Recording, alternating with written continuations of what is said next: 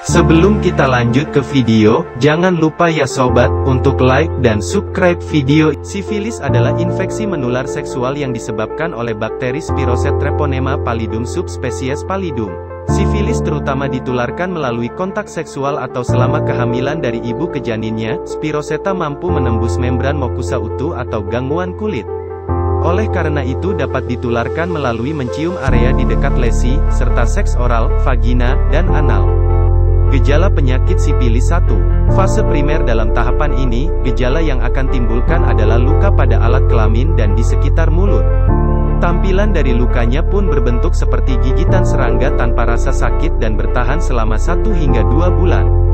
Dalam tahapan ini pun, penularan akan sangat mudah terjadi akibat hubungan intim. 2. Fase sekunder tahap ini muncul sekitar 1 hingga 6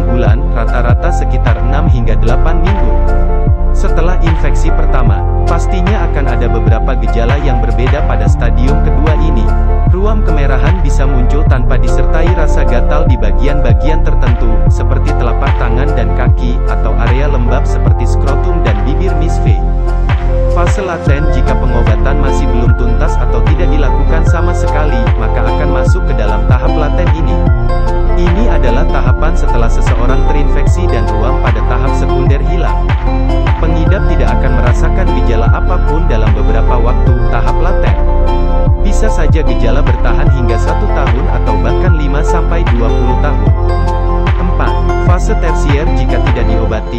akhir ini mungkin akan muncul dalam waktu dini, yaitu satu tahun. Selain itu, tahap ini juga bisa muncul kapan saja seumur hidup. Tahapan ini merupakan tahapan yang paling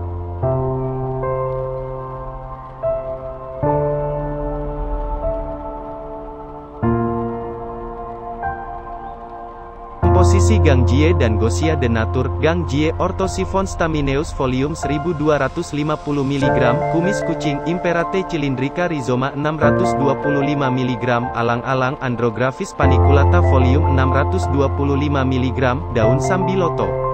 Gosia, Lumbrisi rubeli 2500 mg, Amilum 183 mg aturan minum. Gang Jie, sehari 3 kali 2 kapsul setiap 1 jam sebelum makan. Gosia, sehari 3 kali 2 kapsul setiap 1 jam sebelum makan. Manfaat obat Gangjie Gosia de Natur Gangjie Gosia de Natur bermanfaat menyembuhkan berbagai penyakit kelamin pria dan wanita seperti sipilis, raja singa, gonore, gok kencing nanah, klamidia, keputihan abnormal, berbau, infeksi saluran kemih, kencing sakit panas, anyang-anyangan, kencing keluar darah, flek di celana dalam, luka, sariawan pada kemaluan, benjolan, bengkak pada kemaluan dan berbagai keluhan penyakit kelamin lainnya.